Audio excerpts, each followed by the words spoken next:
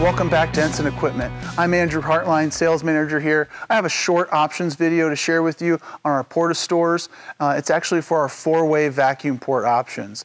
Uh, if you come down to the bottom of the hopper here, we have a 40 cubic foot Porta-Stor. It comes equipped here with our four-way vacuum ports. This is an added option that we can put on any 42 degree bin and it allows for your vacuum wand to get put into the base of the hopper and allow your vacuum conveying system to suck material out of the hopper and into your downstream process.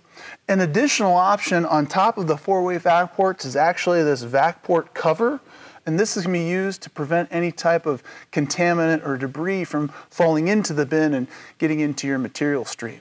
So that's just a short video to go over those two options. Hope it gives you a better understanding of what to expect from Ensign Equipment. If you have any questions or comments, please leave them down below and we'll catch you on the next one.